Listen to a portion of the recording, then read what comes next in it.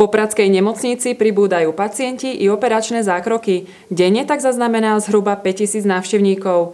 Tri výťahy už kapacitne nepostačovali a tak nemocnica zhruba pred rokom začala s budovaním prístavby, v ktorej pribudli ďalšie dva a schodisko.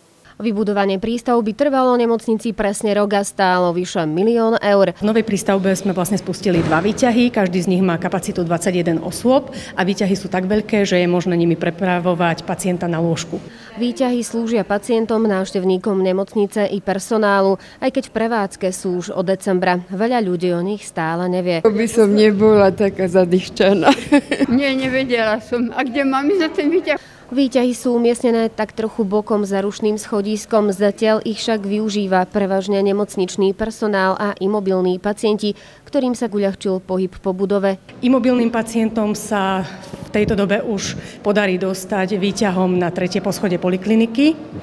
Takisto sme prepojili celú nemocnicu výťahom až po 10. poschodie. V budúcnosti by sme tam plánovali vlastne vybudovať nové gynekologicko-pôrodnické oddelenie. V súčasnosti však výťahy vyvezú pacientov len do tretieho poschodia.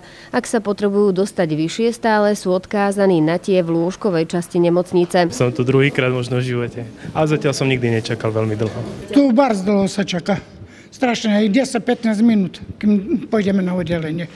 Katastrofa za čo. Na ktoré poschodie idete? Na štvrté. Takže to musíme čakať. Či chceme, či nie. V pohode, bol som minulé, som šiel výťahom. My by sme boli veľmi radi, keby pacienti sa pomaly naučili vlastne využívať pre ambulantnú časť najmä tieto nové výťahy a tie pôvodné výťahy využívali pre lôžkovú časť. Celkovo slúži návštevníkom Popradskej nemocnice 5 výťahov a 3 schodiská.